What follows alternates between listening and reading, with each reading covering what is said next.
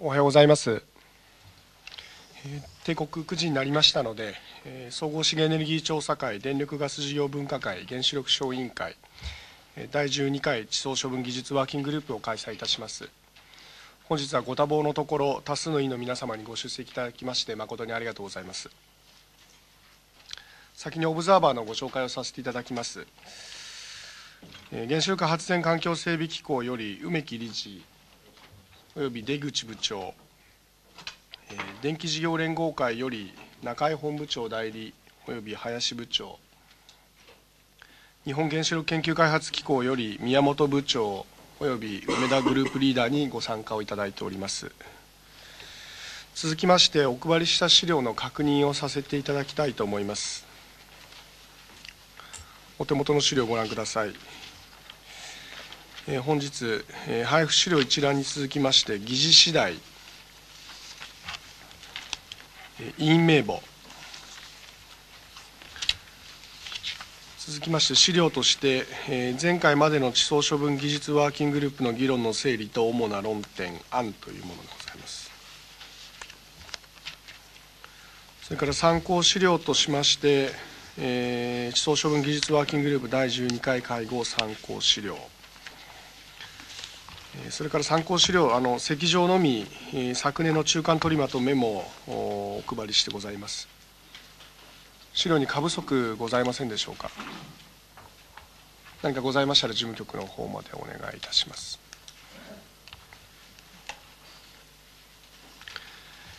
なお、本日の出欠状況でございますけれども、長田委員、小峰委員、東大委員、山崎委員がご都合により欠席をされております。ご報告申し上げます。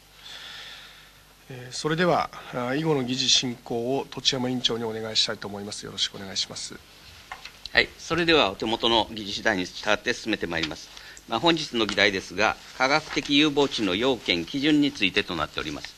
で今回、えー、私の方から事務局の方に、これまでの議論の整理の、えー、お手伝いをお願いして、えー、その上で、えー整理したというものでございます。で、えその内容を私の方から説明させていただきますので、それらを踏まえてご議論いただければと思います。で、え終了予定は11時を念頭に置いております。え議事運営にあたっての委員閣議のご協力をどうぞよろしくお願いいたします。それでは早速議事を開始したいと思います。え資料をご覧ください。で、えこれはこれまで、今まであのワーキングで進めてまいったんですけれども、まあ、もうもう少しいろんなことをきちんと整理して、えー、まあ我々技術人が分かるだけでなくて、えー、それをきちんといろんな人に説明して分かるような格好にしておきたいということでもう一度今までの議論を整理してもらったというものでございます。で、えー、2ページに、えー、その議論の整理の趣旨が書いてございます。で、えー、これまで、えー、地層処分技術ワーキングにおいては、まあ、いろいろと議論を行って、科学的有望値の要件、基準に関する検討というのを、えー、してくださいという要請を受けてやってまいったということでございます。で、これまで3回の審議を実施して、議論の前提となる概念整理や要件、基準の具体的な検討に、まあ、一定の進捗が見られるんですが、その一方で、まあ、いくつかの論点については、さらなる整理が必要との意見も示されております。で国民理解の観点からこれまでの議論をできるだけ分かりやすい形で整理しておくことにも意義があると考えましたのでこのため議論の途中ではございますけれども放射性廃棄物ワーキングへの審議の状況を報告することを念頭に一度この段階でこれまで議論の内容を整理し今後の技術ワーキングでの議論につなげていくこととしたいというふうに考えてございます。で3ページはこれまでの経緯でございますが、えー、これについては、えー、説明を省略させていただきます。でまず最初に議論の整理でございます。で、えー、5ページから、えー、今までに、えー、いろいろ議論してきた内容の議論の前提としての概念を整理してございます。でこれは、えー、主にワーキングの5回あ9回目ですね、9回目で、えー、議論した内容でございますが、科学的有望値選定と法定調査との関係について、えー、整理しているということでございます。で、科学的有望値の位置づけっていうのは、一体これ何に対する適正なのかということでございますが、まあ、個別地点の最終処分建設地としての適正は法令に基づく処分地選定調査によって段階的に確認され、かつその安全性については、規制基準に基づき、規制当局が評価するものである。科学的有望地の議論は、この点について誤解を招かないようにする必要がある。それから科学的有望地は、法令に基づく処分地選定調査に入る前段階において、法令に基づく文献調査を実施する上での適正を評価するものであり、科学的有望地として選定されることが、最終処分地としての適正を保障するものではない。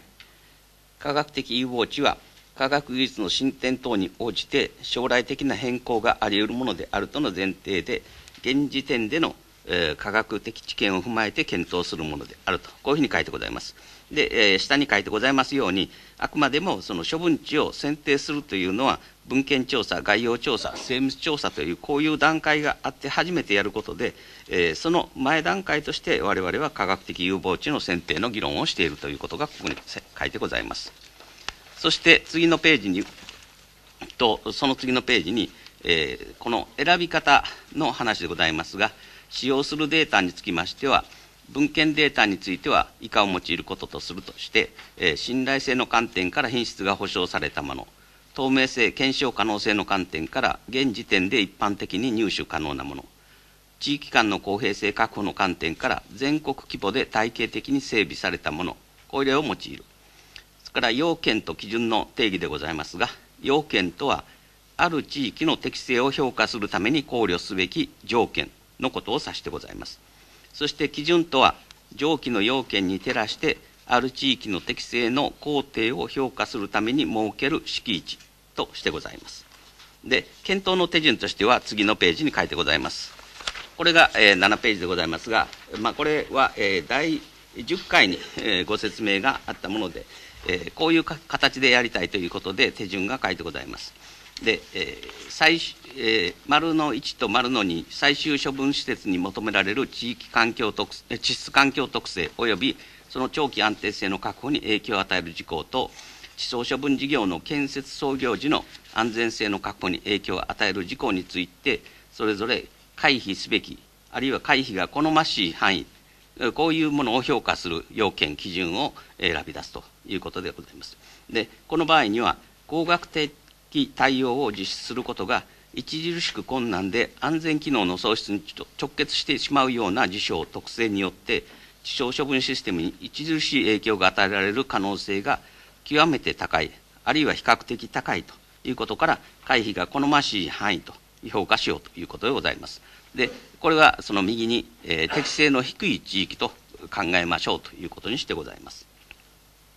それから、えー、こういうこととはまた、えー、さらに進みまして、1、2に関して、好ましい要件、基準の設定が可能かどうかというのを考えるということで、えー、これについては、積極的に考慮することで、地層処分システムの安全性が大きく向上する可能性が高いため、好ましい範囲と評価するための要件、基準を考えるということで、これがより適性の高い地域となってございます。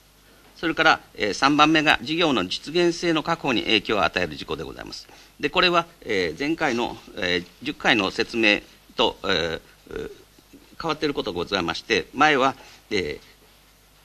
ー、1本だったんですけども、今度は回避と好ましいという日本の線が出るようにして、えー、上にも線が行くようにしているということが若干修正した通りでございます。で、その他のところは前の説明の通りでございます。で、これが、まあ、あの、検討事項手順の考え方でございます。そして、えー、10ページからは、えー、これまでの検討状、あ、ごめんなさい、9ページからは、これまでの検討状況が書いてございます。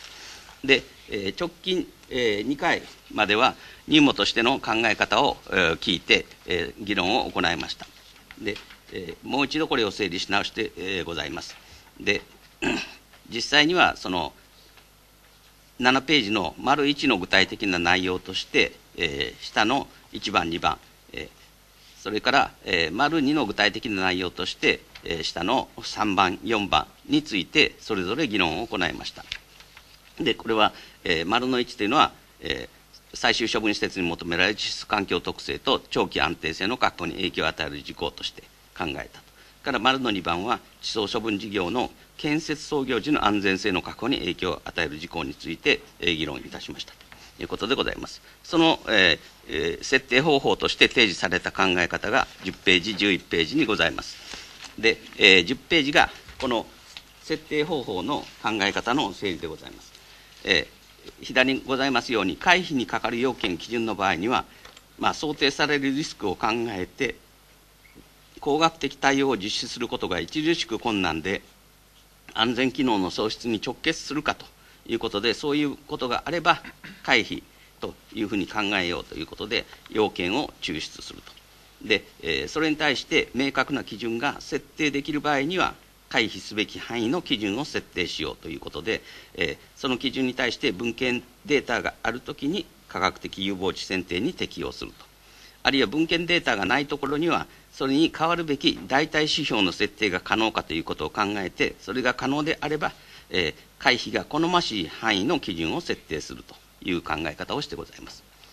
その一方、好ましい要件基準の設定では、期待する環境に対して、地層処分システムの安全性が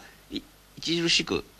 大きく向上する可能性が高いかということで、そういう場合には好ましい要件として抽出して、基準が設定かどうかを考えて、好ましい範囲の基準を設定するということで、この場合も文献データがあるかどうかを判断することによって、科学的有望地選定に適用しようという、こういう考え方でございます。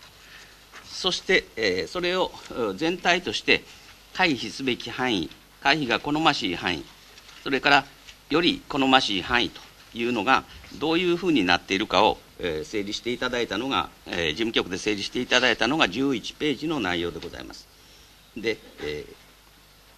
これが上の段に書いてございまして、えー、下は、えー、下の方に、点線の下のところに書いてございますのが、これまでに、えー、任務の説明を聞いて議論した内容でございまして、地質環境特性については、えー、好ましいあるいは、えー、まあ、えー、その間ぐらいのところですね。で、こういうところが、まあ、好ましい範囲として一応議論したということで、えー、緑あるいは破線で、えー、囲った矢印の範囲であろうというふうにしてございます。それから地質環境の長期安定性については、主に回避の観点から議論をした。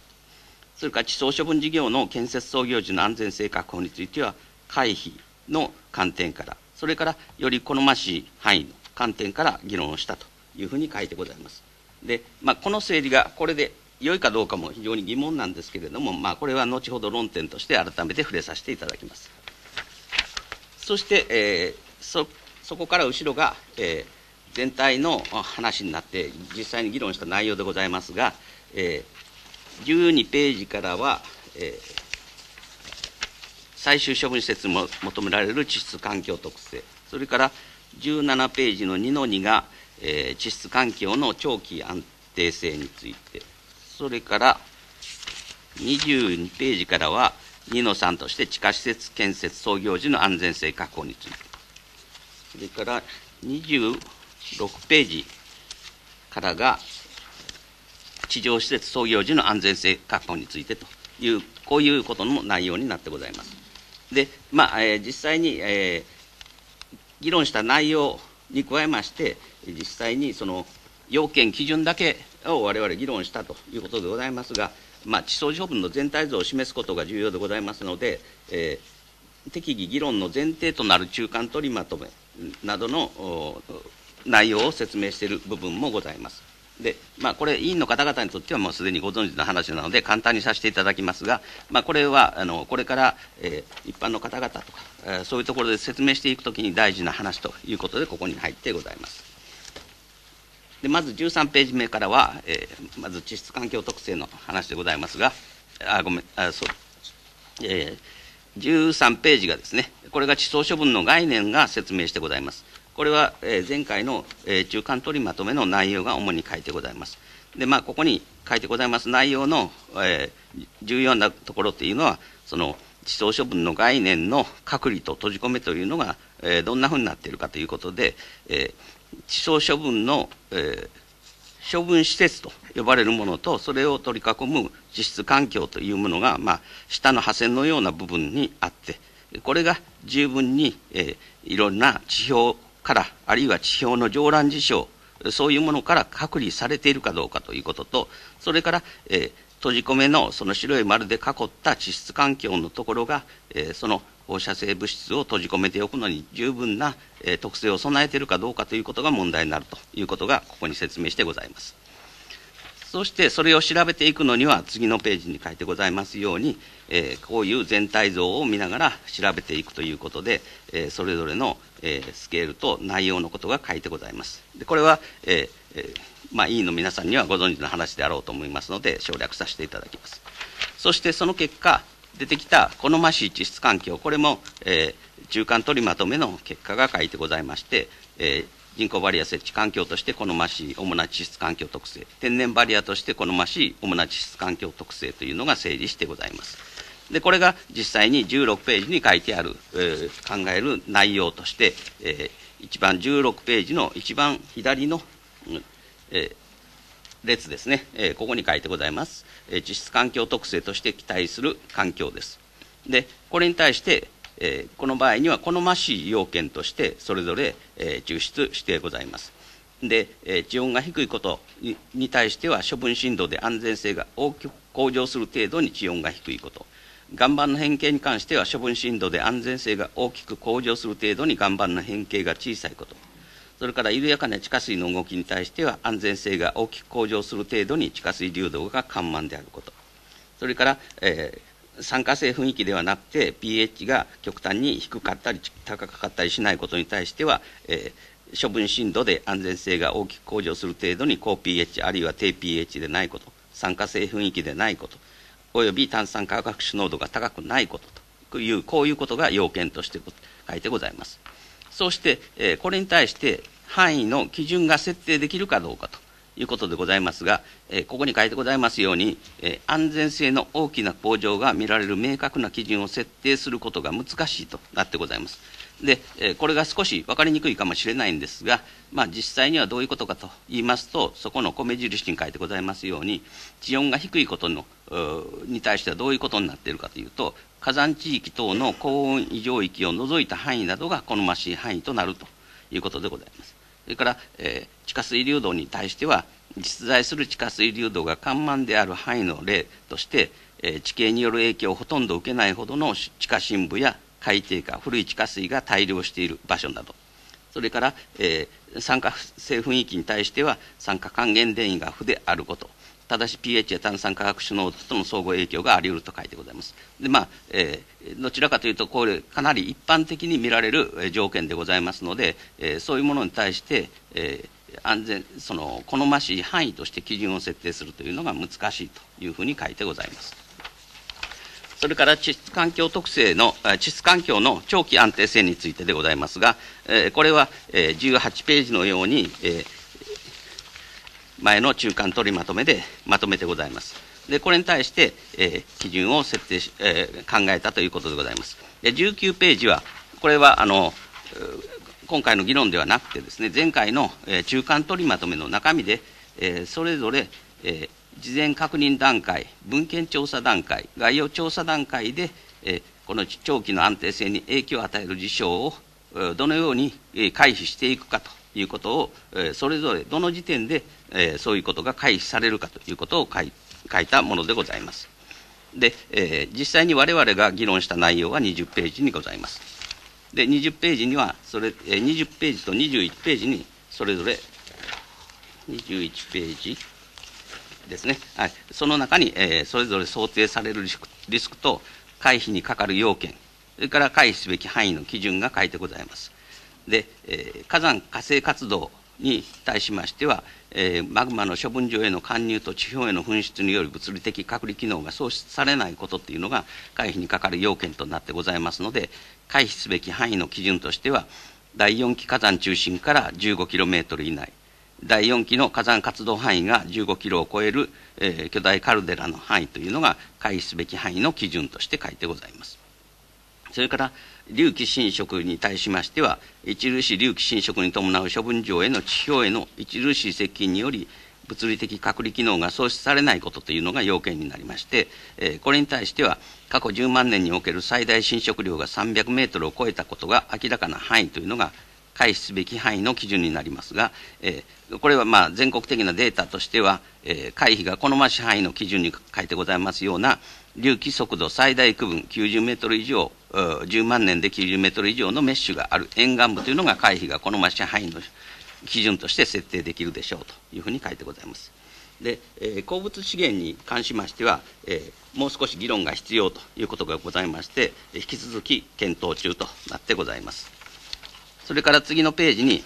地熱活動、それから火山性熱水深部流体、断層活動について書いてございます。で、えー、回避すべき範囲の基準としては、地熱活動に対しては、処分深度で地温が長期に100度を超え大きく超える範囲というのが範囲の基準になると。そうしてこれに対しては、回避が好ましい範囲の基準として、適当な処分深度において100度以下を確保できない地温勾配の勾配の範囲を、えー、回避が好ましい範囲の基準として抽出してございます。から火山性熱水深部流体に関しましては、えー、回避すべき範囲の基準としては、処分深度に、えー、火山性熱水または深部流体が存在し、かつ化学場への影響が明らかな範囲としてございまして、えー、これに対して、えー、回避が好ましい範囲の基準として、地下水の特性として pH4.8 未満、あるいは炭酸化学種濃度0.5モルパーリットル以上を示す範囲というふうになってございます。それから、えー、断層活動に対しましては、活断層に活動セグメントの長さ100分の1の幅を持たした範囲というのが回避すべき範囲の基準となってございまして、えこれが、え回避が好ましい範囲の基準で活断層に寄進断層長さの100分の1の幅を持たした範囲というふうになってございます。それから、えー、次は地下施設建設創業時の安全性確保についてでございます。で、えーこれにつきましては、まあ、入門からの説明と意見のご意見をもとに、基本的な考え方について、えー、議論した結果を事務局で整理していただいております。で、23ページには、安全性確保に、地下施設建設創業時の安全性確保についての基本的考え方となってございます。で、これは、地下施設建設創業時は、実際には40年から50年程度が、えかかるというふうに想定されてございますが、これに放射性廃棄物を埋設するために、地下に設ける坑道に関して、概要調査段階では、坑道の掘削に支障がない地層を選ぶこととされており、さらにその前の文献調査段階で、第4期の未固結堆積物である地層を回避することとされてございます。でこのため、えー、今回の科学的有望地選定の検討にあたっては、地下施設の建設時の安全性の観点についても検討の対象に含めることといたしました。特に地下施設建設時の作業従事者の安全を確保する観点から、慎重な対応が求められる項目について、類似施設の建設に関する一般的な考え方を参考として検討を行いました。その結果が24ページに書いてございます。そして、えー、24ページと25ページにわたって想定されるリスクとして未固結堆積物のところそれから膨張性地山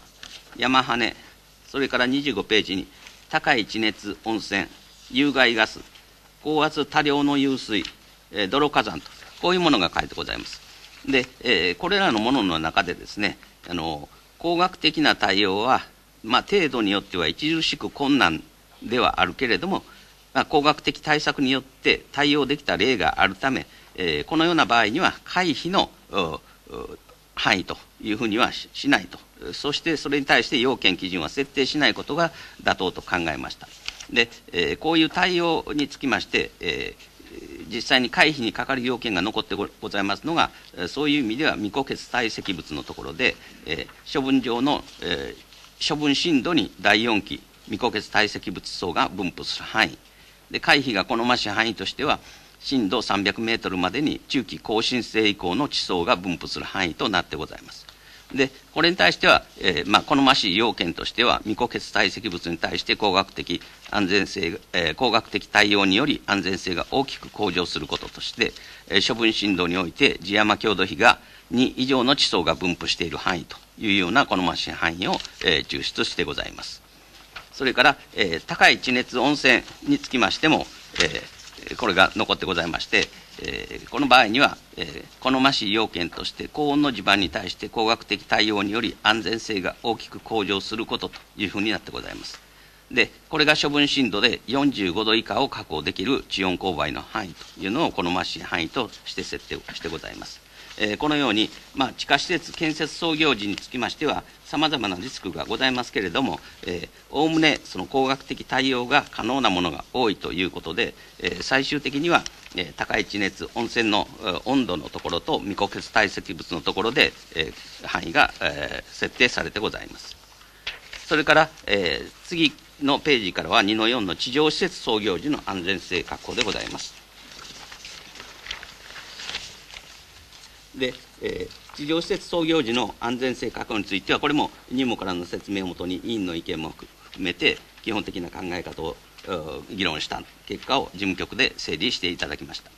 で、地上施設では、まあ、創業期間40年から50年の間にガラス固形をオーバーパックに封入するなどの高い放射線化の作業を実施することが、えー、想定されます。で、え、これに対しまして、放射線の遮蔽と放射性物質の閉じ込めを適切に行わなければ、生活環境への影響を及ぼすこととなります。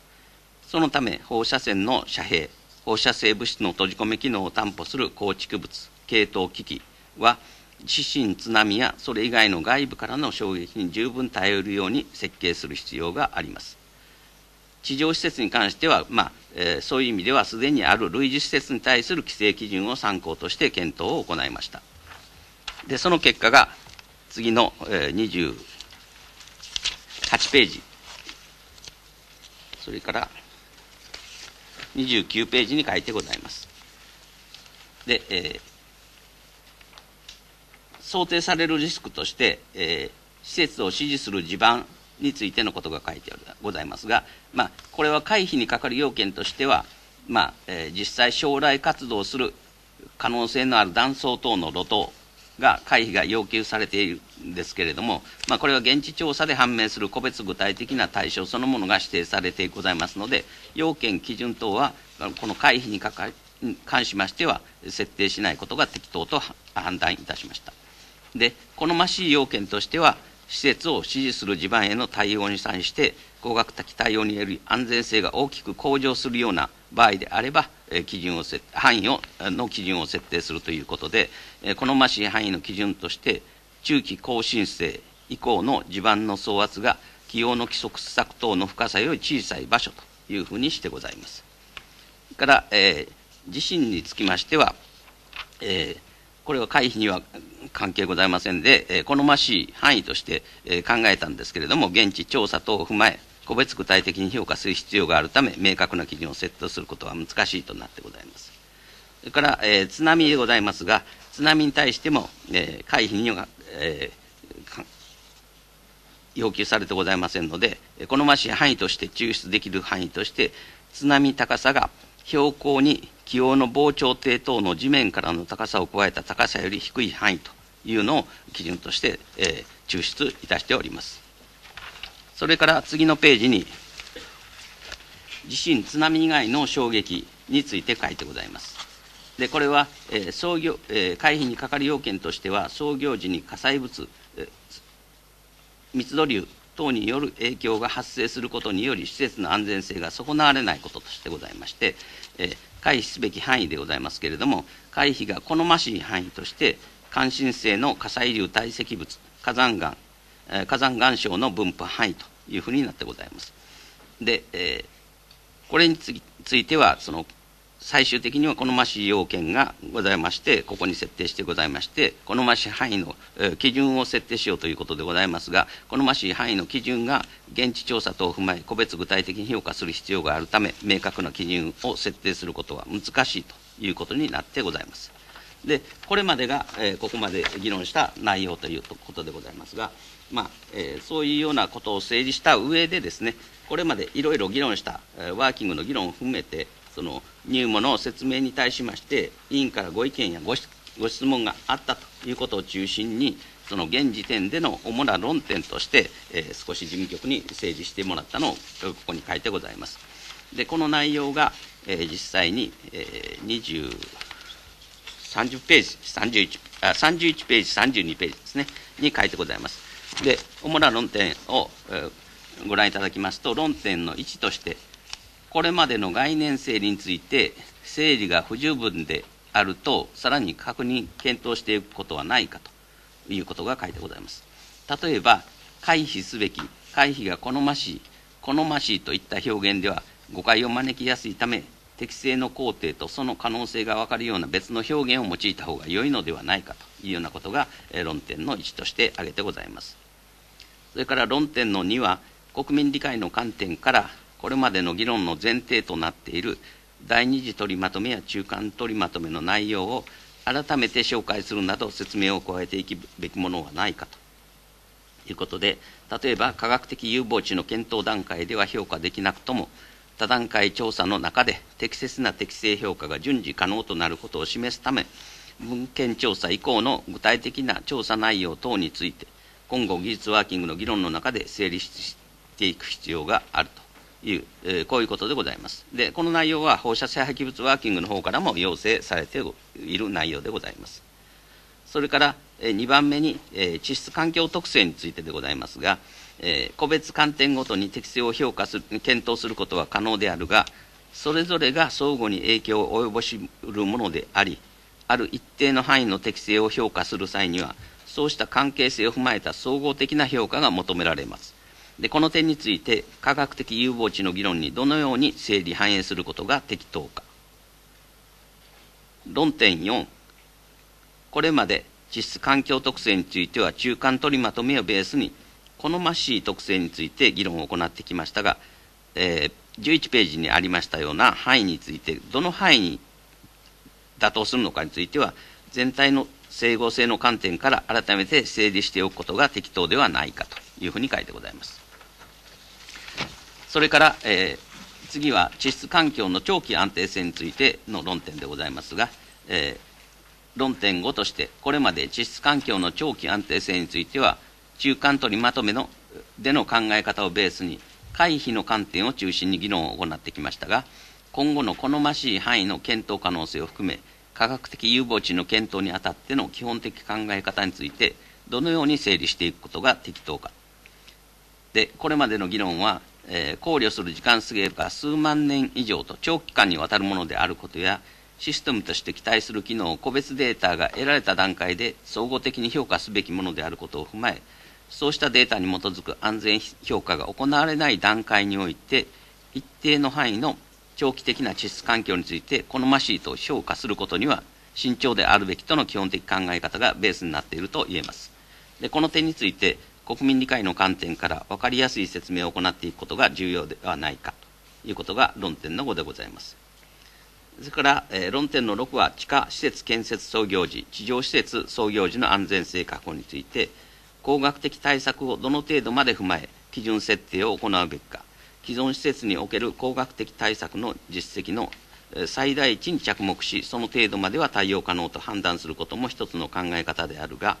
より一般的な工学的対策の程度を踏まえて判断すべきとの考え方もあるとの意見があった。この点についてどのように考えるべきかということでございます。で、以上のようになってございまして、えー、まあ、これをもとに、あの、今日ご議論いただきたいということでございます。で、えー、そういう意味で、えー、っと、まあ、これから私の説明についてご質問、ご発言のある方は、ネームプレートを立てておいえー、お願いいたしたいと思います。で、あまあ、大変ごご議論いただくことが多いので、前半と後半で論点を分けてご議論いただければと思います。で前半は地質環境などに関わる論点として、論点の3、4、5について、それから後半は地下及び地上施設の建設創業時の安全性確保に関わる論点、論点6と全体を踏まえた論点として、論点1、2をご議論いただければと思います。えー、それではどうぞよろしくお願いいたします。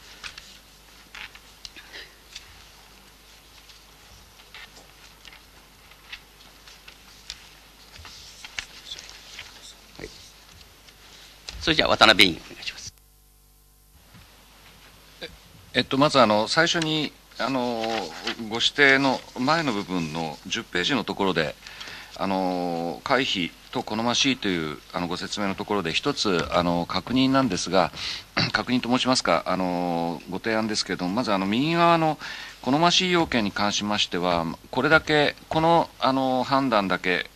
流れますとあの、まあ、ネガティブなものであってもそれをプラスにするようなものがあの拾われてしまう誤解を得ますので最初のあの判断の箱としては回避左側にあります回避すべきリスクがないことっていうところからスタートするのだと思います。そうしますとあの次の11ページの図であの最後の論点にもあろうかと思いますが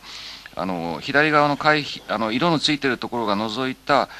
えー、ベージュ色の左端のところから右側をあの対象として好ましいものが拾われていくというそういう説明が明確になると思います。ではあの本題ですが、13ページのところに、あの最初のあのご説明のところですので、あの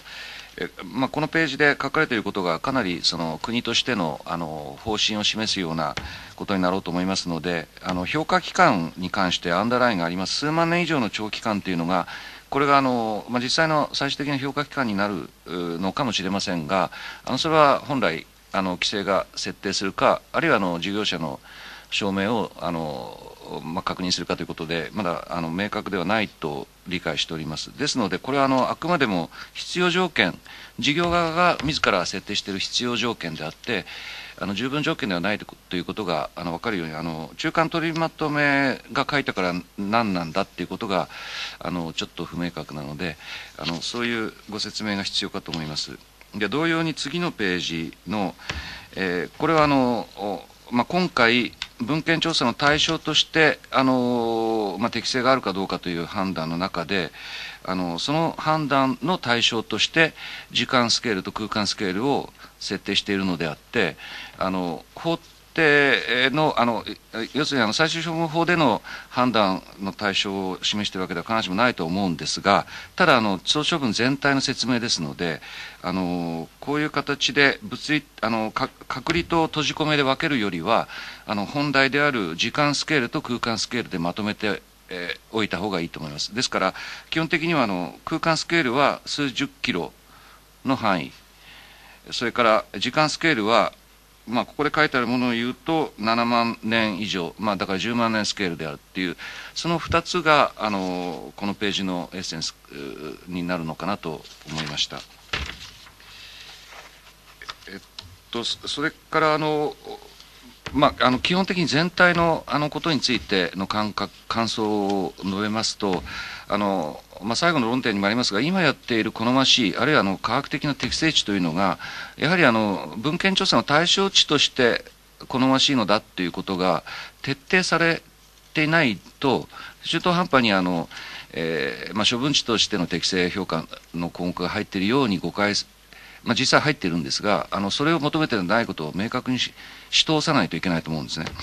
でそういう意味で言いますと、例えばあの20ページのところで、えー、あの例をあの2つ、火山火星活動と隆起侵食ですが、例えばあの火山火星活動のところで、まあ、すでにあの明確にされている第4噴火中心の15キロに加えて、カルデラに関してはまあそれを超えますよというあの意識を出していますが、えー、何の範囲か書いてないですね。あのカルデラの範囲、要するに地形的なカルデラの縁の中なのか、それともカルデラの影響が現在も残っている範囲なのか、あのこの辺は多分文献調査で確認させるっていう内容に見えますから、あのまあ、そそういうそれ以上は踏み込めないあの総合評価しますからのでその辺があのちょっとそういう書き方があの短く書いているのでいろんなところにありますそれから次の下の段ではあの右端にメッシュ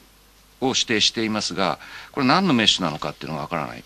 であのこれすべてに言えます。ですので、あのまあ、3つのデータについて3つの条件を最初に述べられて、あの質が、品質があって、それからあの公開性があって、それからあの全国網羅性があるっていう条件を示されたのですが、実際はどれだと、もういっそのこと明示された方がいいと思います。で、ここでいうこのメッシュっていうのは、どの資料の何のメッシュなのかっていうのが伝わらないと意味がない基準に、あの書き方になっていると思います。それから、えっと、2, 2の3までいいんですね。2の3の範囲はいいとすると、あの、ちょっとつまんないことです。23ページの、えー、米印は、これ、6項と8項逆だと思いますので、えー、訂正ください。でまあ、以上のあの前半の部分はそういう意見ございましてであの踏み込んでいるあの議論の内容というのはあの我々やはりあの、えー、処分地としての適正を念頭に置いていますので、あのあくまでも文献調査の対象としてあの入るべきというのは、文献調査の対象として好ましいというのがどういう意味なのかということあのその議論の時我々はちょっと誤解して、やっぱりあの処分地としての適正にすり替わっているような気がしますので、あの候補地として文献調査の対象として好ましいっていう言い方がそもそもあるのかっていうことも含めて、あの考え直す。必要があると思うんですが、そうするとこれは書きすぎています、明らかに。でも書きすぎてるってことは、やはりあの法定調査で文献調査、概要調査に入った際に、あのこういうことを念頭に置いて、事業者は安全を確認してほしいということを、我々はあの今、注入していると思うので、です。で、そうすると、今日の議論ではありませんが、実際にその文献調査に入った際、あるいはあの概要調査の選定をした際に、これは当然生き残っているはずで、あのこれ、えー、を無視することができないものを今作っているということも、あの、まあ、念頭に置いて、あの、記述したらよろしいかと思います。あの、細かいことは別途、あの、事務局にお知らせします。それでは徳永委員お願いします。ああのありがとうございます。あの先ほど渡辺委員がおっしゃったこととでもう大体あの言っていただいているんですが、あの我々がやっていることがその文献調査にを始める前段階であるということを明確にしていただいた資料で、そのそこその中で私たちが何を考えるのかということはあのあのよく分かるようになっているんだと思います。ですから、そこを確実着実にそこをやるということであの進めていくということがというかまとめていくということが今の段階では重要なんだろうというふうにあの理解しています。であの少し議論があのありましたが、その例えば16ページのところとか少し細かいことになってしまうかもしれないですけど、その好ましい要件、好ましい範囲の基準というのを、まあ、ある種こう単品で決めていくということはですねあのあまり適切でない場合があってあのそれは十分にあの理解してやらないとある部分だけ好ましい範囲が基準好ましい範囲の基準があ決まってしまうっていうことはあるかもしれないですがそれがどういうその経ですねシステムの中で考えていることなのかっていうことを分かっていないとですねそのこのコミュニティの外にメッセージが出ていくときに非常に問題を発生させる可能性があると。いうことは十分に気をつけておいていただきたいということをお願いしたいというふうに思います。それから、えっと、これもまたすみません、細かいことでもしかしたら21ページの真ん中の段なんですが、えっと、ここはですね、火山性熱水深部流体と書いているところでございますが、回避すべき範囲の基準というのが、これは、なんていうんですかね、最初の、うん、何ページでしたっけ？説明のとこにあった、すいません。10ページの明確な基準が設定可能かというイエスとノーのところのイエスに言ってるから回避すべき範囲の基準を設定するということになってるんだと思うんですけど、この文章は私にはうん、明確な基準として設定されているように思わないんですね。すなわち、えー、っと、処分深度に火山性熱水または深部流体が存在し、かつ化学場への影響が明らかな範囲というのは、何をもって評価するかということは、実は明確には決まっていなくて、これは精神を言っているようなものに見えるわけです。そうすると、この、うん、10ページの、えー、やり方に本当に基づいてやった結果としてこう出てきているのかっていうのはもう一度精査していくことが、いただくことが必要じゃないかなということを、あの感じました。それからあの最後の、えーと、論点のところの、うん、これ3番、4番、5番のどこに入るのかよくわからないんですけれども、えっ、ー、と、好ましい範囲というのを考えていくとか、その全体として総合的に評価するということは、あの僕は非常に重要だと思っていて、それはなぜかというと、今の段階で、その持っている情報が非常に限られている中でですね、その、ある種、懸念があるもしくは詳細に検討しないといけない項目があるという地域が出てくるということはあると思うんですが、それをもってそこが適切でないということを言っているわけではないというふうに思います。すなわち、段階的に、その、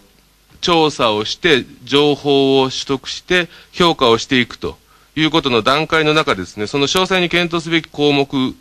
の課題になるかもしれないということが解消されることは十分にあるわけで、それが解消されることによって他の観点から見ると非常に良いというところを早い時期で排除してしまうというようなやり方をすると、それは地層処分の、その、良い適地を、最終的な意味で適地を選んでいくという意味で、早い時期に私たちがその、あの、間違いを犯すということが起こり得ると思うので、そのあたりも、その進め方としては、あの、気をつけとかないといけないのかなというふうに思います。以上です。それではマリー。すいません、あの、土地山、すいません。土地山委員長、最初あの前半後半とおっしゃってましたが、議論の後半部分に今話が及んでいるようなんですけれども、よよろしいですか？はい。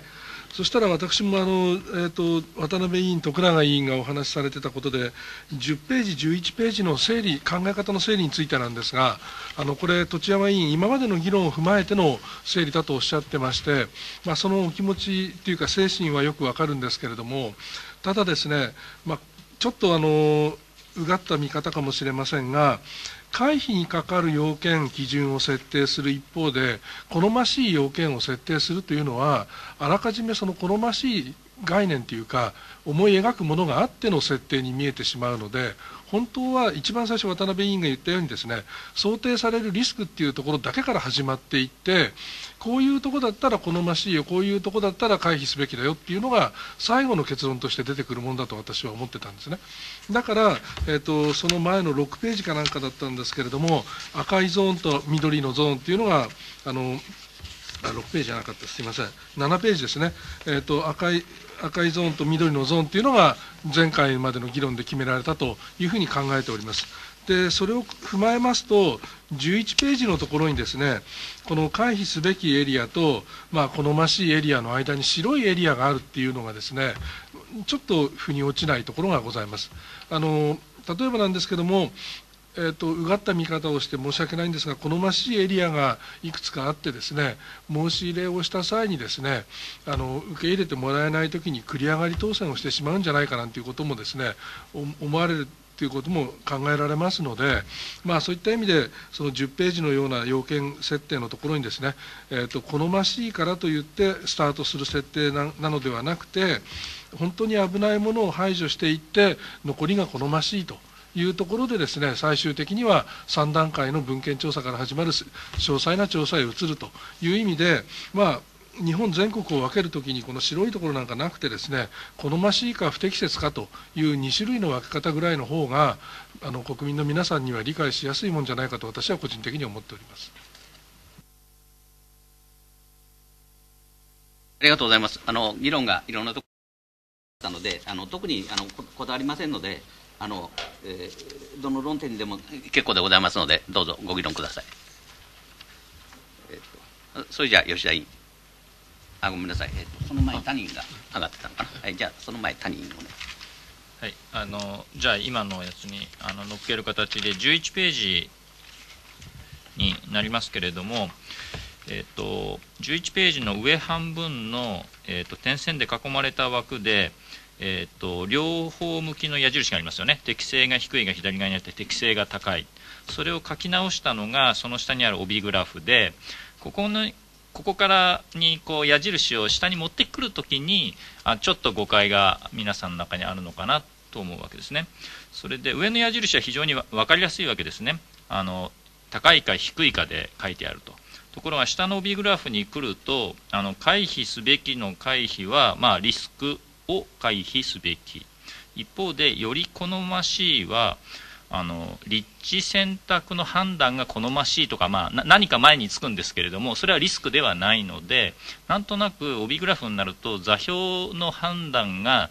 えー、と必ずしも上の両向き矢印とは同一でないってところがちょっと誤解があるのかなと。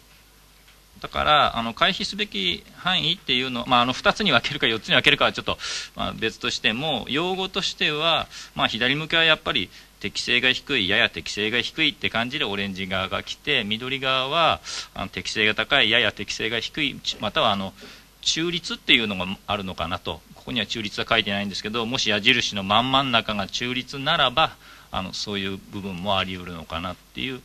感じがするのでなんか座標が2つあるんだぞって感じが見えない方がいいのかなと思います、はい、以上です。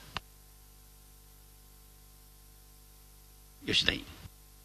はい、はい、えっ、ー、とまあ、その地質環境特性について論点3のところに関わるんだと思いますが、えーとまあ、今、皆さんが、えーと、議論されているいわゆるそのこの科学的有望値の、えーまあ、考え方として私自身の、えーまあ、認識を、まあ、述べますとこのあの、えーえー、科学的有望値として、えー、出されるのは、えー、やはり、えーとまあ、11ページで言った方がいいんでしょうね。11ページで言うんであれば、えっと、そのオレンジと橙ですかね、まあ、橙とオレンジって言いますか、この2つが、まあ、排除された後の部分なんだろうなというふうにまあ思ってたわけですが、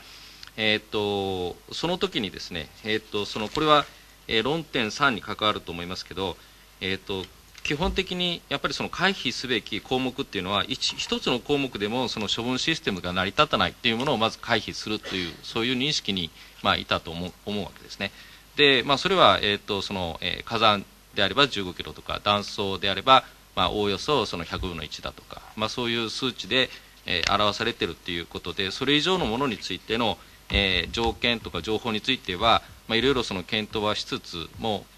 その個別では決められないと。でしたがってそのあの、まあ、その後の、えーまあ、現地調査なりで、えー、明らかにしていくという認識だと私はずっと、まあ、思ってますので。で、まあ、そこの中のですねちょうどその緑と、まあ、いわゆる回避すべきのオレンジの間にこれだけの幅があるのかないのかそれが非常にも狭まってそのあの2つに分けられるのかその辺はちょっと私も、えーと、その何とも言い難いところありますが今の段階ではかなりここの辺がその、まあ、グレーゾーンというか、えーと、そのグラジュアルに変化していってそれがうまく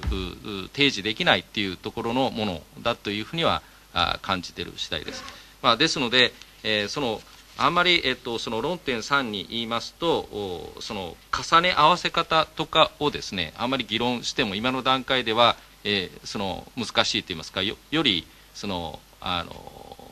取り巻きの方々には何を議論しているのかが分からなくなっていくんではないかなと。でそういう意味では、えーまあ、先ほど丸井委員が言われてましたけどもし将来的に何らかの形で科学的有望値っていうのを出すんであればやはりその辺の見せ方も踏まえて、えー、その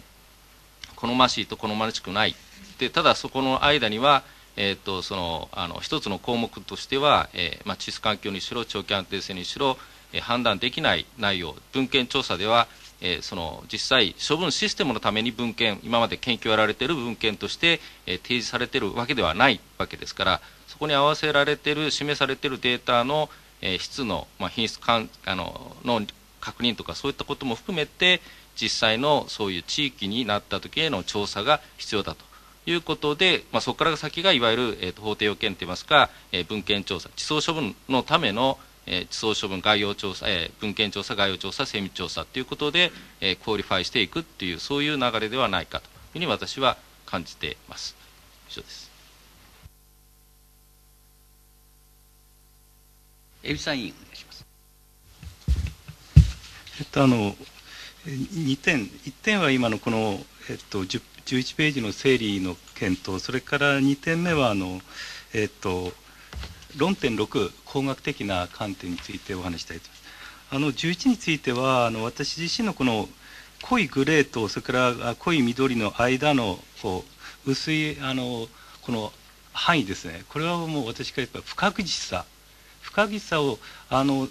オレンジもグレーもどっちにしても01の発想でなくてやはりいろんな観点で不確実さがあるだろうからその不確実さを表すものと今までずっと私はあの捉えてきてましてですから今の段階で本当にあの01でオレンジなのか緑なのかっていうそれの中でもやはり不確実さがあるはずだろうから、まあ、その不確実さをこれからずっとどう認識していくか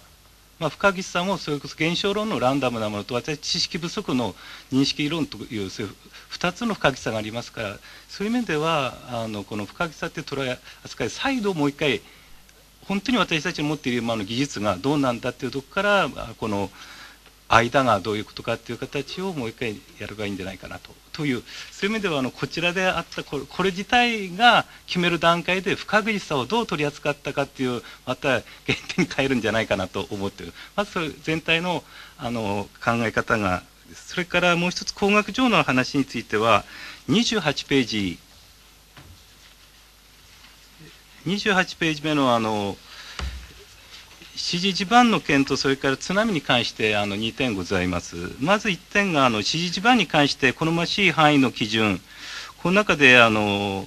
中期更新性地盤の総圧云々とこう書いてるんですけども、多分これはあの耐震性から言うと、この指示基盤というのは、総圧というあの要件は必要条件であるけども、必要、必ずしも必要十分条件でないと。必要条件は、今の新しい、えっと、2007年の耐震指針では、あの支持力として物理量としては先端波速度なんですね。岩盤の持っている強さ、それを先端波速度 VS いくらいくらっていう形で、それであの定義してますから、前の岩着とかそういうのはもう取っ払いまして、支持力があること、で支持力があるということの物理量は、片触らず先端波速度いくらと。でかつそれに対して先端反速度あるけどもペラペラであればポキンと折れますからそういう面ではそれにさらに総圧というこういう発想ですのでこの総圧だけであの定義するっていうのはちょっとあのそれに加えてあ先端波速度に加えていくらと。例えば今のあの軽水路であれば多分先端波速度500メーターパーセックぐらいの今の軽水路の重さであれば大体あの500メーターパーセックですので多分今回の施設は係数力仮とすればそれ以上、まあ、そういうあの物性値がちゃんとあることさらに総圧があることっていう形があの重要でないかと思っています。それから津波に関してあの好ましい範囲の中で津波高さが標高に気温の防潮堤等の地面からの高さに加えてこの私のこの防潮堤という言葉が本当に必要かどうかやはりあの防そじゃああの防潮堤の高さいくらにするんだと。敷地高さにっていくらっていうまた今でそこでも議論がどのぐらいの防潮堤の高さにするかっていうことでまたまさしく3.11の事件では防潮堤があったかなかったかあったとしても高さが適正であるかっていう、まあ、それよりか今回の場合はあの別にあの炉みたいに海水で冷やすためのポンプの高さが最低例えば10メーター水筒が10メーター確保ということはないわけですね。海水で冷やす施設でありませんから、そういう面ではこういう防潮堤とか、そういう人工構造物に頼らずに、やはりあの標高だけで表すという方が説明性が高いのではないかと思います。で、多分ここの意図はもしかしたらば、この処分施設のあの港湾施設、あの運送とかいう港湾施設を意識させれば、もう別に港湾施設は津波が来ても、それがやられても、処分してる方が津波が来て大丈夫なことが重要ですから、多分そういう意味ではこう、防潮堤という言葉をはない方が説明性が高いじゃないかなと思います。以上です。はいありがとうございました。えっ、ー、と実際に、えーと、今までの議論の中の好ましい範囲の基準として抽出してきたことの中身についてのまだ議論もありましたので、まあ、もう少し、えー、これについても議論しないといけないということもあるかと思います。えーと、今でもでああねはい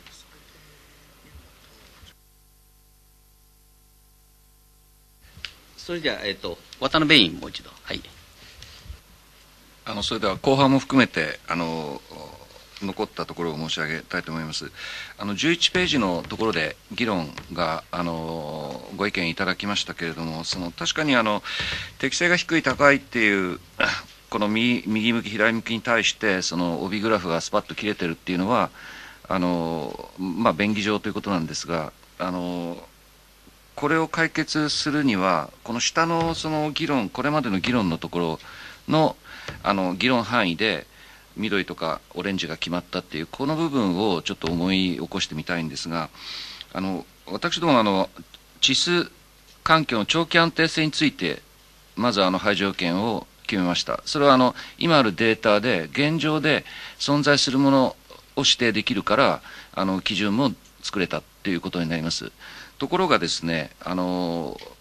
あというかもうちょっと全体を考えてみますと、この後の法定要件、あの法定調査というか、あの実際の段階的調査においては、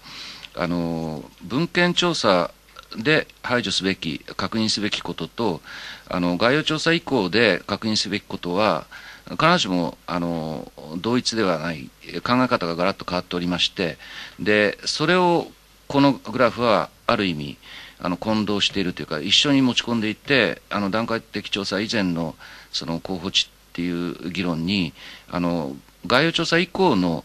あの、まあ、評価も含めているので今議論が矛盾しているように見える部分がある。で私はあくまでもその文献調査に入る対象だっていうことで徹底すべきだと申し上げましたがその意味では地質環境特性で緑色を議論したというのは実は間違いであってあのこれはまあ議論しても意味がないことなわけですね。なぜならば例えば火山で申し上げますとこの えー、っと排除要件のところで文献調査で排除すべき、まあ、第二火山の噴火中心から影響範囲15キロえーまあ、これはあの決めましたと。ところが、あの同時にですね、今回の議論では、このあの地質環境特性のところでも要件というか議論をしてしまっていて、で温度がどうであるとか、その反応反応性流体がどうであるとか言っています。で、ここで緑を議論したことにして、その上の緑のあのエッジは、域地は決めたっていうあの話にしてしまうと、あの排除すべき15キロの中にも、そういう適性のある地域があるわけですから、あないとは言えないわけですから、あの自己矛盾するわけですよね。ですので、あの私はまずご提案としては、この地質環境特性では議論はしたけれども、設定できなかったっていう、緑の破線で塗りつぶしてはいけない。そうすると、この緑の範囲というのは、実はその、事業の成立性であるとか、経済性とか、ままあ、そういう観点のこの3番目の建設創業時も含めてですね、ここであの設定されていることであると。ですから、あの、地質現象のリスクとは関係ない、関係ないというと変ですが、あの、とは別途の判断であって、その意味は、文献調査の、あの、適用範囲とは違う、あの、既存の法律であるとか規則に照らして、あの、設定しているわけです。ですから、あの、そういう意味では、これは、あの、一連の、こう、あの、塗り分けのグラフで表すのは、ちょっと困難かもしれないなと、あの、思う次第でございます。えっと、それであの具体的に例えば28ページは、まあ、一例なんですがあの実際のその一番下の3番目で緑を設定しましたという議論ですがあのここはあのあまりにですねあの既存の類似施設へのあの法律にあの依存しすぎているような気がしましてこの例えば28ページがパッと社会に出ますと、えー、地震活断層それから、まあ、津波が想定されるあの太平洋側のあの沿岸地域、非常にあの低いところでも排除、回避しないでいいと、安全性が確保されると言っているように見えます。ですので、あの要求されている事象がないから安全だというのかと。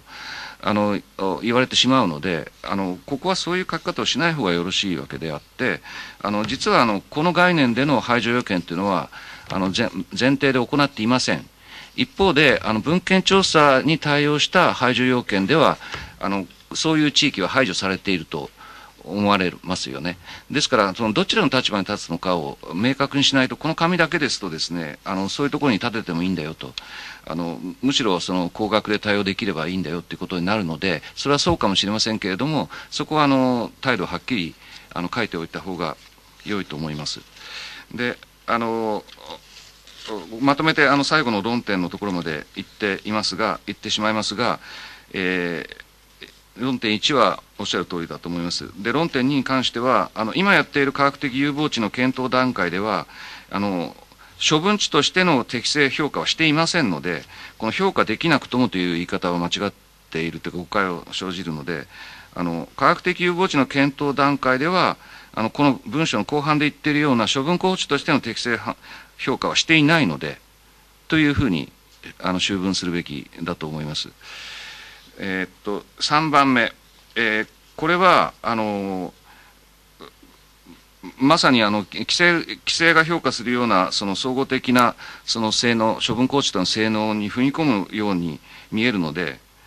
えー、そのような整理とか説得をすることは非常にリスクがあるあると思います。あのあくまでもあの文献調査対象の候補地という議論に徹するんであればここは踏み込まない方がいいと思います。それから、えー、っと論点5次のページですが、えーまあ、これはあの分かりやすい説明を国民に向けてするという趣旨としては、現有望時の議論では、その最終的な性能に評価をしている、あの処分候補地としての適正を議論しているのではないということを、もうくどいほど徹底するということが、その国民の理解に必要なあのことだと思いますので、まあ、それを分かりやすく説明していただければよろしいかなと思います。以上です。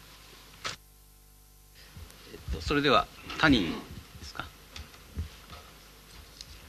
えっと、あの最後の論点6について申し上げます。えっと、論点6ではあの企業の工学的対策の実績の最大値に着目するかということがあの問題になっていますがあの私は結論から申し上げるとあの工学的対策の実績はやや極端な条件の場合にはあの極めて、えー、その最大値の値が大きくなる場合があるので、まあ、あの工学的判断というのはある一定の社会的な合意に基づいた平均的なって意味合いがあると思うんですね、よく日常用語で工学的判断に基づいてという場合には、多分そういうことであって、あの特にあの設計基準が変わってしまった場合に、季節のものをっていう場合には、極端な値にあのあの対策がありうるので、えー、ここはあのやはり常識的な工学的対策という方があのまともかなというふうに思います。で具体的にはですね、えー、と28ページのあの基礎のところですが、私は若干、あの海老沢さん、海老沢委員とあの意見が違うんですが、えーと、この支持地盤の厚さについてですね、VS、まあ、VS ももちろん非常に重要な指標ですし、あと N 値という重要な指標もありますが、あのそれの全国的なマップっていうのはとてもあの難しいわけですね。ですのであの実際にあの好ましい範囲の基準には至らない可能性があるので、まあ、この総圧というのはある一定の、えーと、判断が下せるあの情報が揃っているのでいいのではないかというのは1点。それからあの結論的には50メートルという数字が前回出ていましたけれども、まあ、それにはあの異は唱えませんが、あのその理由として規則索等の深さの起用の値が50メートルっていうよりは、まあ、ここの文章をですね起用の基礎の対応でできる、まあ、区域基礎も想定すればあの50メートルっていうのは常識的に我々が工学的にものを作れるのかなっていうことなのでえそういうふうに書き換えればあのここはあの上手にいけるのかなと。それからあのこれはあの徳永委員とのご指摘にも私は同調しますが、あの単品でいくと危ないのはですね例えば津波の高さのところであのもちろん敷地であの全部せあの大丈夫だよっていうことがあの分かりやすいわけですけれどもこのやはり他の条件とのバランスを考えると、まあ、季節の堤防の高さを加えて考えるっていうのはあのバランスとしてはいいのではないか、だからあの原案で出ているあのごあのご提案の方がいいのではないかというのが私の感覚です。以上です。はい、ありがとうございました。それでは皆さんに意見を言っていただきましたので、えっと、前回までの説明に関連する部分で、えー、入門および事務局の方から、えーと、と何か答える部分がございましたらお願いしたいと思います。まず入門の方でいかがでしょうか？あありがとうございます。あの えー、と今あの、委員の方々ご意見いただきましてあの、それぞれごもっともなんだろうと思うんですが、あのちょちょっとですね、えー、議論がやや、えー、私があの前回まで、えー、いろいろ参加させていただいてた理解とですねやや 錯綜しているところだけご指摘申し上げますとあの11ページの図なんですがえー、っとこれこれはですね私の記憶だとあのまずオレンジ濃いところそれからオレンジ濃いところにしたいんだけれどもあのやや情報不足って言いますかですね。そういったものがあるので、えー、トーンをダウンさせてオレンジを少し薄めたところ。これは確実といいますかできれば避けたいと。いうことでこれは明確なんだろうと思います。であの右側の方なんですけれどもあの えー、好ましい範囲っていうことが出てきたあの議論なんですけど私の記憶ではですね、えー、あの排除要件で削除するだけではなくてもしですねあのこのその前えっと、えー、何ページだったかなあのえー、あれあ7ページ。7ページに書いてありますけれども、あのここに詳細にあの事務局ノート整理さしていただいている通りなんだろうと思うんですね、つつまりその好ましいっていうことをあえて入れるのは危険だというような意見も先ほどあったんですけれども、仮にあえて入れるとすると、工学的なその、えーえーあ工学的じゃないや。システムの安全性が大きく可能あの向上する可能性があると。これはあの工学的に考えられる対策もセットで考えてもいいかと思うんですけれども、えー、そうそういうセンスで入れたんだろうと思うんですね。ですからあのその好ましいっていうことを必ずしも無理やり入れてるわけではなくてですね可能性を探る議論のプロセスとして、えー、こういう考え方を取り入れてみようということであの11ページのような結果的にはですね 11, 11ページに書かれているようなあの思考のパ思考の過程が書かれてるんだろうと思います。であの前回だったと思うんですけどご説明した通りですねあの、まあ、入門としてその好ましいというものがあるかどうかという、まあ、あの検討した結果はですね一番下のその先ほど、えっとえー、タニーがご指摘になったあの事業の実現可能性の2点ですねそ、こしか結果的にはなかったということで、これは議論のプロセスとしては好ましいということをあえて、えー、考えてみたんだけれども、結果的にはなかったと、こうこういうあのもんだろうと思うんですね。ですからあの概念的にですねあのこういうものがあるということよりもむしろその考え方をこういうパターンで行った結果今残っているのは結論的に言うとあの左側のオレンジのとこと、えー、建設創業時のこれはですねあの、まあ、これここでまたご議論していただいて最終的にどこどれを取り上げるかはその議論の結果なんだろうと思いますけど今のところあり得るとすると、えー、左側のオレンジのとこと、えー、地層処分事業の建設創業時の安全確保のところでこのマシーがひょっとするとあるかなと、まあ、そうそういう結果なんだろうと思うんですね。ですからあの議論のプロセスがここに書かれているのであってあの最終的にその科学的有望値というものをあの選ぶための指標としてはこれらの中から総合的にですねご議論していっていって決めていただければあのありがたいというふうに思います。以上です。それじゃあ事務局の方りがとうございます。あの私の方からも、えー、今あのご議論が集中しましたあの10ページ、11ページのところについてですね、あの若干補足をさせていただきたいと思います。まあ、今もあの入門の方からも話があった通りですけれども、それから渡辺委員にあのご指摘いただいた通りですが、まずあの回避すべき範囲というものを先に考えまして、そのそれを除いた範囲の中で、えー、より好ましいというようなことが言えるんだろうかという検証をしてみたと、そういうその手順であったということはですね、あのご指摘の通りでもありますし、あの今後、このワーキングの外にあの説明をしていくような時には、え、よく注意をすべき点だと思いますそそのこと自身はあの7ページのフローズは、まあ、まさにそのようにあの設計をされているわけでございましてまずあの回避すべきところからということでございました。あの回避すべきというところをじゃ除いた上で、えー、好ましいというようなことが言えるんだろうかというのは今あの入務から話があったようにそうしたあのことも検討をしてほしいという、まあ、あの一種のその期待に対して我々としてどういうことが言えるんだろうかということを、まあ、あの過去2回あの検討の材料をご提供して議論していただいたものだというふうに理解をしております。その点についてはこれもまたあの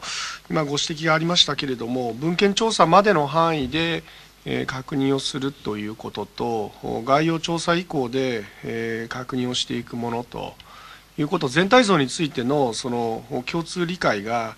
あのあるかないかでですねあの随分と見方が、まあ、異なってくるんだろうということで、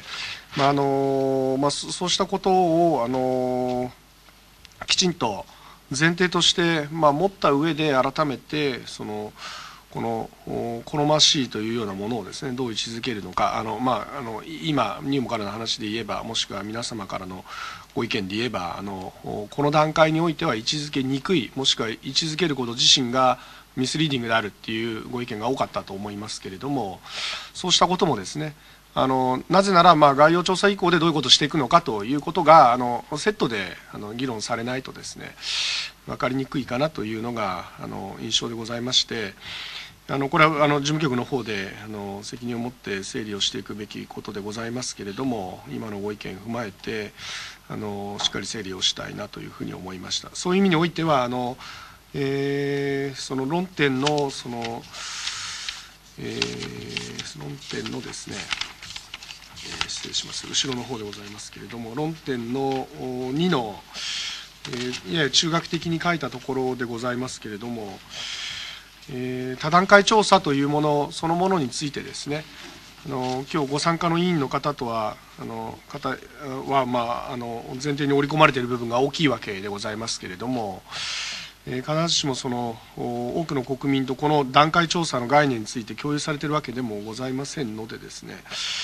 えー、文献調査以降ではどういうことを確認していくことが法律上それから事業者としてあの、まあ、求められたり考えているのかということを可能であればこのワーキングの中でもこの先あの改めてあの確認をしていきたいなというふうに思っているところでございます。とりあえず以上です。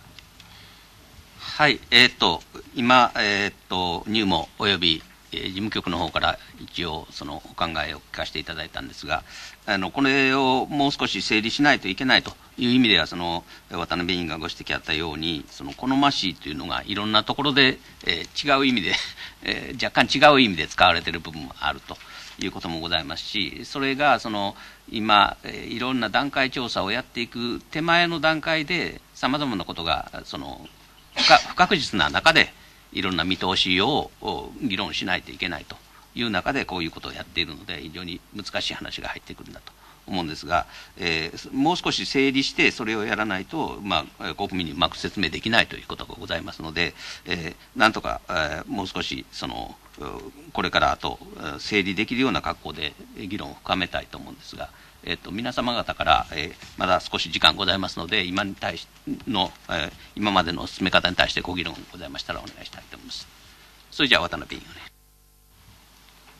あの梅木さんと私は意見が違っているわけではなくてあの11ページのあのこのバーで緑色の左端の位置を定量的にどうやって決めたかっていう議論があった際にそれを参照するために下の方の3つのところにあの緑矢印があって左端ここですよって議論したかのように見えるのであのこの地質環境特性のところでは議論できなかったわけですね域地というか。だからあのいいですよ。あのこの左側のあの緑矢印の先を消していただいてぐわっとこうグラデーションにしていただければ確かに議論いたしました。で確かに好ましい要件というのも地質環境特性にあるだろうということも理解しておりますのでただあのどこ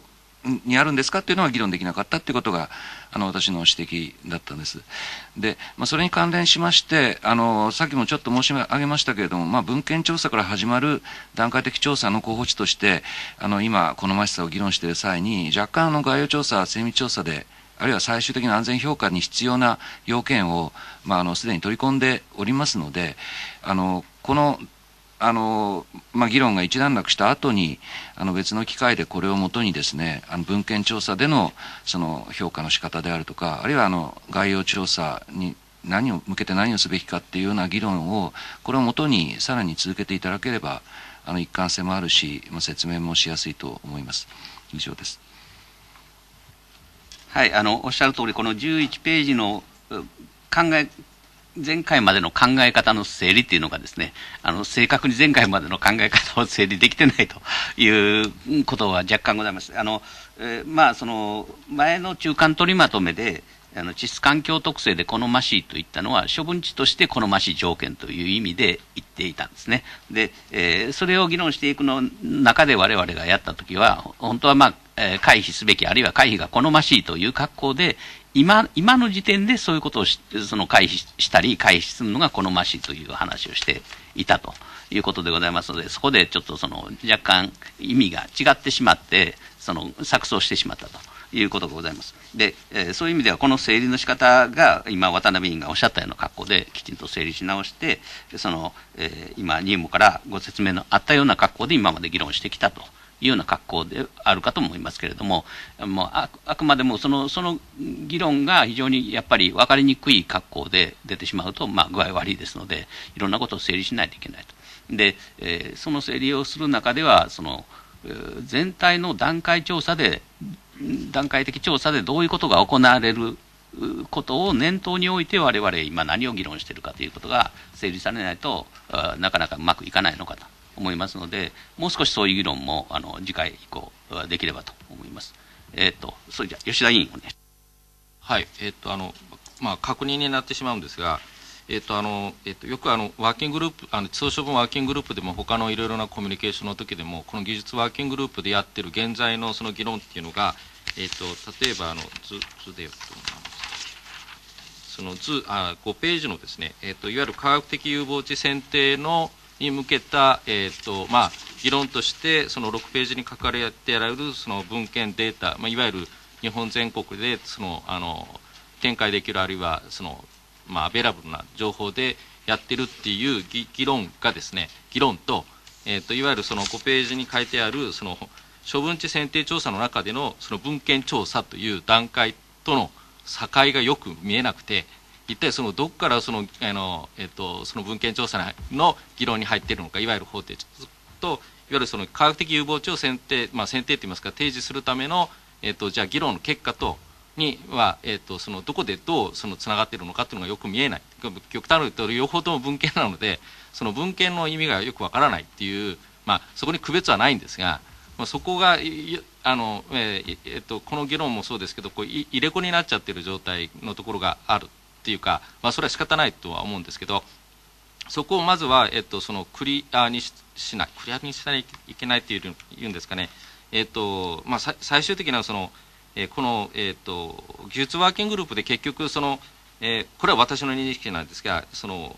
えっと、共有されたことは何なのかって思うとですね11ページにも書いてあるようにその回避すべき範囲っていうことの項目に対して、まあ、多くの、まあ、基本的なそのあの共通の認識が取れてでそれ以外に何か大きなもの抜けてるものがあの出たわけではないので要はそれが、えーと、その回避すべき範囲としてその科学的、えー、有望地選定の段階で提示されると。でそれ以外のことについてはそれ以外の、えー、地域について、えー、初めてその文献調査から、えーとそのまあ、概要調査へといたやっていくっていうそこの確認が取れたっていうのが私の認識なんですね。でなので、えー、そのこのオレンジの、まあ、オレンジとその橙のですね部分が、えーと、じゃああの科学的有望値、まあ、その排除したところが科学的有望値ということになるんだと思うんですが、まあ、それをどう提示するかあどう提示するかというまあ、マッピングというかどうかを置いていてですねでそれ以外のいわゆる議論されてきた地質環境の項目とかいうのは、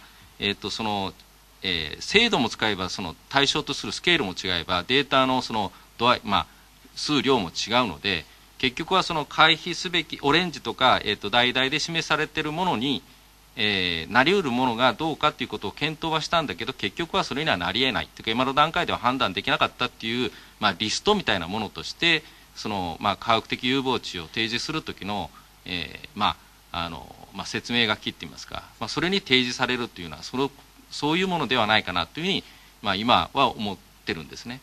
でそこの項目についてもその敷地的なものがあるかもしれませんけどそれは、えっとそのまあ、あの先ほど渡辺委員も言いましたけど議論はしたけど結論には至ってないっていう、まあ、そういうのが、えっと、そのやっぱり説明としてなされてないとこれがその外に出たときには一体どどどこの何をこう議論してそれがアウトプットとして出されたのかっていうのがうまく伝わらないんじゃないかなっていうのを、まあ、ちょっと、えー、今、えー、議論を聞いててもちょっと思いましたので、まあ、あのコメントさせていただきました。以上です。はい。その他ございませんでしょうか？はい。いいですか？あありがとうございます。あのえっとですね、今あのご指摘いただいている点で、えー、今回の科学的有望地の選定にあたってどういうものを根拠として使うかという話と、それから法定要件に書かれている文献用文献調査の中で、えー、何を文献として使うかという点なんですけれども、これはあのえー、科学的有望地を選定するっていうことがなければですねあの文献調査の中で網羅的にやられる本来はものであったろうと思われます。ですが、えー、科学的有望地の選定を行うということであればですね、えー、既存の何か情報データを使わざるを得ないわけでそれについてはですね、えー、6ページのあの使用するデータのところにですねとりあえずバウンダリーは示されてるんだと思うんですね明確に。であのこの全国規模で体系的に整備されたものというものをどういうものにするかはあのもちろんこの委員会の中で決めていただかなければいけないんだろうと思うんですけれどもあのそそそれを使うということについてはもう合意されたものだと私は理解しておりまして具体的にどれを使うかはあの案としては入務はこういうものがあるからあこれが使える可能性があるという材料をあのご提供しましたけれどもあのこの委員会の中でですね、えー、そのここで使う全国規模つまり科学的有望地を選定する意味での、えー、全国規模で体系的に整理された文献というものはこれこれ近々でこういうものを使うと明確に定義していただければですねそそれ以外のえー、全国レベルまたはですねあの当該有望地点における個別地域別のデータというものを文献調査の中で開始すると。こういうことになるんだろうと思うこれはあの理屈上はそうなることになるんだろうと思いますので、えー、原則概念的なバウンダリーはここでクリアにされてるんだと思うんですね。でそこは議論の出発点としてあの、えー、ぜひあの念頭に置いといていただければありがたいというふうに思います。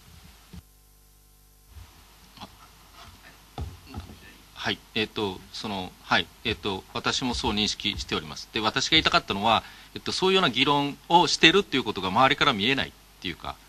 それが言いたかったっていうことです。いや要は、その、えー、科学的有望地のためのその文献調査と、いわゆる概要調査以降の、まあ、ね、法定要件のための文献調査という何が違うのかって常にこう聞かれる。で、まあ、それをここで議論してるんだけど、この今言ってるような、その、えー、6ページに書かれているようなものとして議論されてるということが見え見えないので、でいつの間にかなんかその文献調査のその、えーと、中身の,、えー、こうその qualification まで議論してそれじゃ科学的有望値はどうなったんですかっていうかあの選定はどうなったんですかっていうふうにあのいろいろな方から聞かれるですよね。でそれはだからいやそこを今はまだ議論してるんですよっていうことを言ってるんですがそこはやっぱり今今梅木今言いましたけどそのあの明確にやっぱりその提示して、えっとそのまあ、科学的有望値を早く提示するんだったら提示する。そこから先の議論に移るんだったら移るということをクリアにした方がいいっていうそういう意味でいいようですすいません。えっとあのまあいろいろ議論が出ました。あのそういう意味ではその今これまでやってきた議論の整理なんですが、えー、まあ7ページとそのそれからその10ページ11ページの話をもう少しきちんと整理しないといけないと。で基本的には7ページの格好になってるんですがまあその安全性の観点からいろんなことを考えたときにその今この時点で、えーまあ、回避、えー、しないといけないというようなああるいは回避が好ましいというのは、まあ、その全くそのここに7ページに書いてございますように、まあ、工学的対応を実施することが著しく困難で安全機能の喪失に直結してしまうような事象とかそういうような可能性が高いところということになってございまして、まあ、これは非常にはっきり分かりますので、えー、そういうところは、まあ、あの適正の低い地域としてやりましょうということなんですが、まあ、それに関して逆にその好ましいっていうのを設定しようとすると安全の観点からまあ非常に難しい。実際にはその大抵のものは工学的に対処できるんではないかというようなことになるわけですが、えー、まあ、あのそういう意味でなかなかうまい議論ができなくて、えー、最終的にはその処分の建設創業時の安全性確保の点で、えー、若干そういうようなものが、えー選ばれてきたといいますか中身として出てきたというのが、まあ、精一杯のところであったということになります。でそういう意味でその科学的有望地をもう少しその、えー、なんていうか選んでほしいというあの要請に対してはそのまんまではなかなか難しいのでそういうことでそのいろんな、えー、付加的な事項を考えないとしょうがないですねというそういう話にはなってきてるんだと思うんですがあのそれをそのまあ、一般の方々はより安全なところが見つかるんじゃないかというような誤解もございますし、そういうなのをその安易にポコッと出してしまうとどうしてもなかなか難しい話がありますのでそこの考え方をもう少し整理しないといけないと。それから、まあ、今あの何人かの先生方からそのおっしゃっていただいたのはやはりその後の時点でその分かるだろうと思ってやってることの中で我々議論してるんですけどもそれはあの他の外部の方から見たらそれなかなか分かりにくいところありますのでやはりそれとセットの中で議論をしているということをもう少し整理しないといけないのかなというふうには考えてございます。でまああのそれの中でやった時にじゃあその実際にその工学的対応というのがどういうふうに考えるのかと。であのある意味その回避すべき要件のところで工学的対応が著しく困難ということはやったんですが、まあえー、そういうもので、まあ、実際実現可能性のことを考えるとそそういうものが非常に難しくなるとかそれから、まあ、あの一目見てその非常に工学的対応が楽に楽になるというとおかしいですけれどもその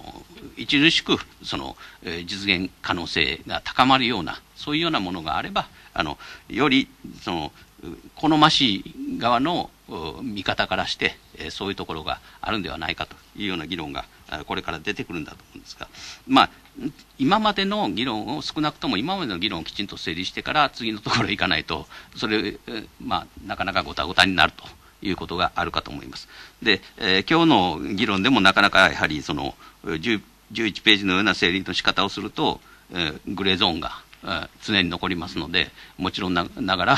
グレーゾーンに対してみんながいろんなふうにあの考えてしまうということがございます。で、えー、この辺の整理の仕方をもう少し、えー、やっ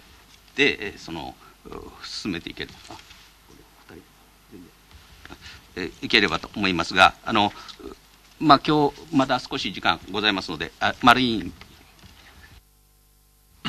はいありがとうございます。あの今の話とちょっとあの外れるかもしれないですけどあの私地下水に関して言えばですねより緩慢なことという今基準というか要件があの掲げられているんですけれどもあのこれは今日の説明にもありましたが数万年を見るのか10万年超を見るあるいは100万年を考えるのかというんで全然その基準が変わるんですね。でそうすると例えばこの11ページにあるような先ほどから言ってるようなグレーゾーンのところのより好ましいがですね、えっとまあ、長ければ長いほどより幅が狭くなるということもございますのであの私たち何年ぐらいを担保しなきゃいけないものなのかとかあるいはその、えっと、いろんな付加する条件をですねまずある程度あの先に議論しておくっていうのはこの基準や何かを決定するのに大事だと思いますんで、まあ、そういうチャンスがあるかないかをもし教えていただければありがたいんですけど。はい、えっと、それじゃ徳永委員。あのちょっとあの科学的有望値の議論を最初にし始めた時のことを少し思い出していたんですがこれはその文献調査を始める前段階のことであると同時にこう広く多くの人にこう放射性廃棄物処分の問題を考えてもらうという時にこう技術として今どういうことを考えていてどういうふうに日本列島のことを考えているんですかという情報を提示しましょうというそういう観点もあったような気がするんです。でそれはそうだったように思うんですがそうするとまさにその結果として回避が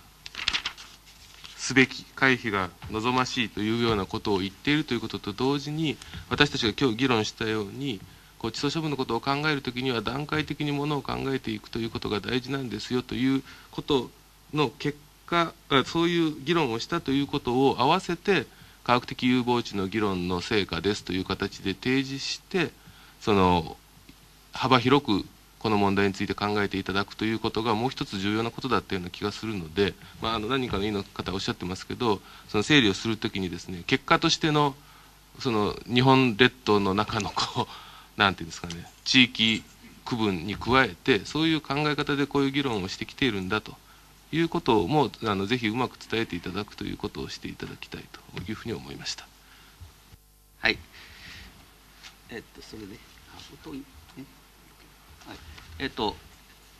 宇都委員と三枝委員、まだそのご発言いただいてないんですが、何かございますでしょうか？あいやあの今日はあの他の委員の方の議論を非常にあの勉強になって聞いてたんですがあのあの概念的なことはあのまさにおっしゃる通りで、えー、だと思います。えーと、若干あのコメントさせていただくとすればですねあの 20, 20ページのところなんですが確かにその先ほど渡辺委員がおっしゃったように、えーとここに書いてあるのは回避にかかる要件しか書いてなくて好ましい要件についてはその一番下の星印にあるようにその隆起侵食について一部その指摘することができたということがあるんですがこれこれだけ読むとですね、えっと、やっぱり誤解を受けるんであるつまり議論の過程がちゃんと見えていないと。つまりあの好ましい要件というのは議論したんだけどようやくこの一つのことについてだけ言うことができて他については議論ができなかったということが残念ながらこのこの2枚のあの20ページ20ページだけでは読み取れないのでそこが外へ出てた時に誤解を受けるということなんだろうと思うんですね。それがすみません私もあの、えーと、あそうなんだよねと今初めて議論を聞いていてそう思いました確かにこれだけ見ていて我々はそこにフォーカスしたんですけど、えーとその議論しに達して十分議論で答えが出なかった部分について書かれていないのでそのプロセスをやっぱり明確しておかないと先ほどのあの11ページの、あのところのところに非常にあのミスリーディングになっていくんだなということが分かりますのでぜひそこのところをあの気をつけていただければと思います。以上です。はいありがとうございました、えー、とそれでは最後に。あはい。えっと私の理解をちょっと、うん、述べさせていただいてあのこの資料を見ていくとあるいは今までの議論の中でもいろんな段階についてあの回避すべきものが書かれて好ましいものも書かれているものもあればどちらか一方だけのものしか書かれてないものがあってで10ページのこの設定方法の使い方がちょっと議論あったと思うんですね。で回避にかかる要件基準の設定のフローと好ましい要件基準の設定のフローはこれ作る時は多分独立して作られたんですけども実際に関係防止選定の時に使う時はこれは連続して使う方が使いあの理解しやすくってまず解析すべき要件のところを排除した後好ましい要件基準設定を決める時に使うという理解を私はしました。それであのよければあの一般の人にも分かりやすいかなと思います。はい、ありがとうございました。それでは一応、その一通りのご意見をいただきました。で、えー、っと、まあ、あの、結論から申しますと、やはりもう少しきちんとした整理が必要で、えー、その中で、えー、いろんな流れの中でこういう議論をしていると。で、その、えー、それがきちんと伝わるような格好で、きちんと整理されている必要があるということかと思います。で、えー、ともう少し、えー、さらにその次回以降ですね、えー、この事務局にあの整理をしていただきまして、えーえー、まあ、この後はですねあの全体の段階的調査とのあのセットでこういう話をきちんとするという格好にあの段階的調査でセットというと おかしいですけどもその段階的調査その後の調査でどういうことが行われるのかということをきちんと入れながら今何を議論しているかということを整理できればと思いますので、えそういう格好で、え必要な修正を加えた上でそのまあ、今までの議論はですね、えこういう格好で進んでいますよということは、あのえ修正をした上で、えー、一度その、えー、放射性廃棄物ワーキングの方にあのご報告したいと思います。で、えー、まあ、まだまだ議論がありますという格好のご報告になるかと思いますが、あの皆さんにご議論がないようでありましたら、私の方から報告させていただくということでよろしゅうございますでしょうか？はい、ありがとうございます。それではそういう格好にさせていただきたいと思います。で、えっ、と、えー、今後もう少しいろんなことを議論を整理しながら、あの、この、えー、ご議論いただければと思いますので、どうぞよろしくお願いいたします。ほんで、本日の議題は以上でございます。長時間のご審議ありがとうございました。えっ、と、最後に、えー、次回の予定につきまして、事務局からお願いします。あありがとうございました。の今の今日のご議論を踏まえましてあの委員長からの廃棄物ワーキングへの報告にもですねあの皆様のあのご議論を反映できるように事務局としてサポートをしていきたいというふうに思います。その上であの次回につきましてはその廃棄物ワーキングへの報告後にあのまた改めて今日のご指摘いただいたようなところをですねのご議論継続をさせていただきたいというふうに思ってございます。日程はあの改めて調整をさせていただければと思います。よろしくお願いします。ありがとうございました。それではどうも。